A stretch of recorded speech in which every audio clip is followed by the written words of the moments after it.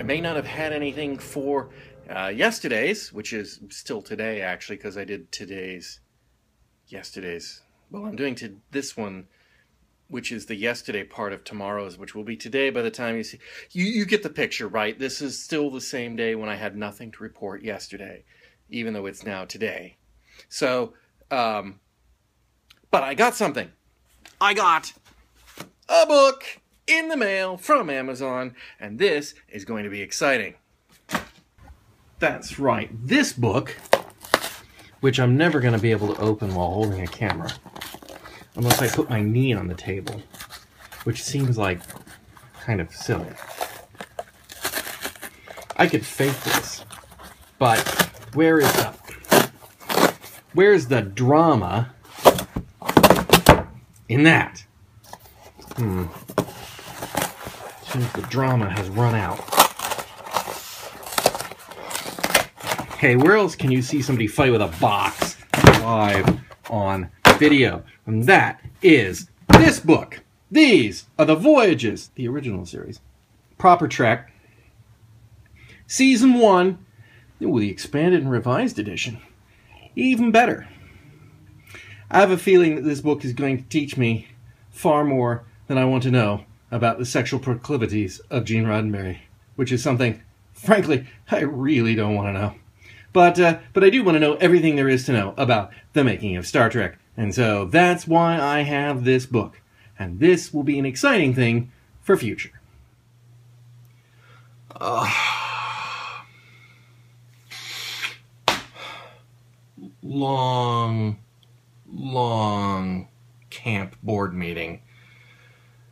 It's a board meeting for camp, not a board meeting that is camp, but it was a long. I just I love I love long telephone conferences. That's just I live for those.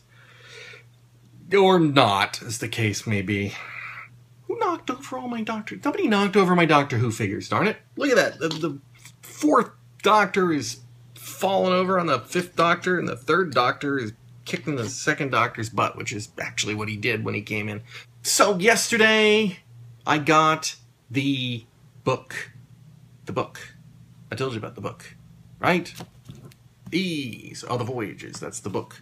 650 pages. The behind the scenes pot boiler that was the story creating Star Trek. Uh, it's kind of funny. I've always. Um, how do I want to put this? Kindly. I love Star Trek, classic Star Trek. I like other Star Trek. I love classic Star Trek. I grew up on classic Star Trek. I I shaped most of my moral values from Star Trek, um, which I didn't realize was a sort of a variation of humanism. Uh, but there you go. That was that was what I grew up in, and you know, every episode of Star Trek created by Gene Roddenberry in the beginning, which is very unusual for a TV show. Uh, it turns out it's a big ego thing. That's uh, from the book, thanks. When I was young, I looked at that and I thought, wow, you know, what what a great what a great man. And as I got older, I began to realize that the worst episodes of Star Trek were the ones written by Gene Roddenberry. And you'd see things in interviews and you'd hear people talk about him, and it really, really very disillusioned with the man. Not nearly as bad as George Lucas, who obviously was just Revenge of the Jedi, Return of the Jedi. Uh, uh, anyway, But anyway, that, that neither here nor there. But the fact is, is that I fell out of admiration for Gene Roddenberry. Um, more felt began to feel it was more a sense of of luck, and in subsequent years, it was his sort of self-aggrandizement. Now, maybe it still is. I, I don't know. But what I what I'm learning here from this book, and I, I really have only gotten up to the part where they've kind of even sort of started casting the the Star Trek pilot there was more to the man than I gave him credit. He, he was, would appear, to be a believer in the ideals that he espoused. Um, he was an imperfect man, and, and when I was joking about learning more about his sexual proclivities than I ever wanted to, I have already learned far more than I ever wanted to know about what a television producer gets up to with the actresses that he's able to lord his power over. Uh, an imperfect man, no doubt, but a prolific writer and a writer that they kept coming back to time and time again. Whereas I look at the scripts that he's his name is on in Star Trek, and I just go like, those are just so bad. Those are the worst. And yet somehow he could do it, and he was clearly making scripts for people that liked them. He could get pilots made. He he was able to work his way up to producer. So I, I'm I'm gaining some of that respect back for him. And what's really the most important thing, and so far anyway, and what people have praised him on, was that Star Trek was well realized from the very beginning.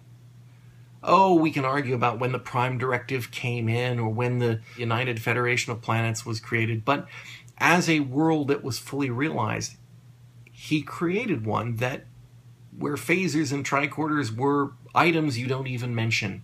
They're just part of the tools that they use. And the example he used in a book, or in the book that, that he's quoted as saying, is that when a cowboy in a Western, 100 years ago, back in those days, pulled out his gun, he didn't have to explain to anybody else what a gun was. You wouldn't do it. And that was one of the things that Star Trek had going for it was that the, the technology was part of the everyday life. It was not, as you would see even in Doctor Who, where they have to have the companion to go, well, what is that, Doctor? Well, this is a retrofabric contrabillion. They didn't do that. They simply used the technology and went on. And and upon reflection, that was a quite a feat in that day and age. It had not really been done before, and so I'm I'm. We'll see. We'll see how this goes uh, as it goes on because I, I, am still convinced that he was his own worst enemy in many cases. But that was um, what I've gotten so far out of. Another plug These Are the Voyages by some guy. okay, it's not much of a plug. It's by um, Marc Cushman with a C. Mark with a C, not Cushman with a C. Well, actually, Cushman has a C too. It's not Cushman with a K, and it's not Mark with a K. It's neither Mark with a K nor Cushman with a K. Yeah. That thought kind of rambled off, didn't it? As you may recall from yesterday's episode, I spent the entire day trying to get my iMac working installed in Yosemite. And today, I continued that fight for several hours in the morning until I finally, finally managed to get logged in as admin. And I was able to run a lot of diagnostics, and I was able to do disk checks, and I was able to verify that everything worked, and did some software upgrades, and I got the thing working what I thought was satisfactorily. And I didn't even log out. I just used fast user switching to switch over to a second account. I logged in as myself. Took longer than it should have, but it logged in. I got all my you know, made sure my virtual machines worked and all my software worked and everything was good, and I was quite pleased. Performance was good. Uh, it was it was it was good. Typically, I don't turn the computer off at night. I log out, uh, but leave it on.